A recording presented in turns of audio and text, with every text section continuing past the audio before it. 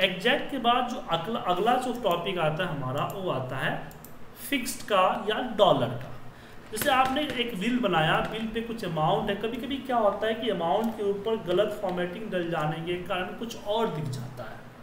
तो मैं चाहता हूँ कोई भी फॉर्मेटिंग डले, मेरा अमाउंट फिक्स रहे तो उस केस में हमारे पास एक फिक्स्ड फॉर्मूला है। फिक्स्ड फॉर्मूले के अंदर आप अमाउंट को डाल दें या फिर डॉलर फॉर्मूले के अंदर अमाउंट को डाल दें। तो दोनों केसेस में आपका इसके ऊपर किसी भी तरह की फॉर्मेटिंग अप्लीकेबल नहीं होगी।